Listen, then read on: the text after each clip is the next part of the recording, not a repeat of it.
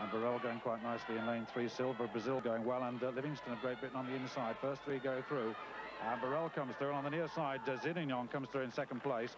Uh, Burrell took that quite casually.